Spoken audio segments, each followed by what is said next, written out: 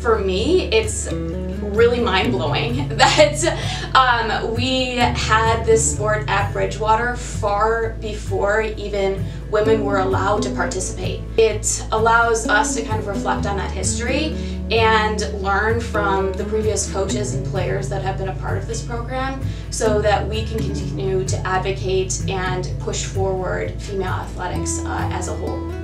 To know that women, even before Title IX, have been playing the sport and advancing the sport, um, and not just field hockey, but just female athletics in general. Um, it's really prideful that we're able to learn from them and grow with the things that they've advanced for us. She is a role model to me, learning from learning her history from the previous alumni.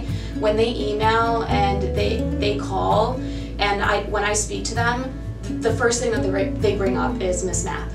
And it's truly an inspiration to me to learn about the trailblazer that was at Bridgewater for women in sports. I mean, before Title IX even existed, she was a key member that pushed female athletics forward. Best in women in sports. Um, go follow social media pages, buy apparel, attend games.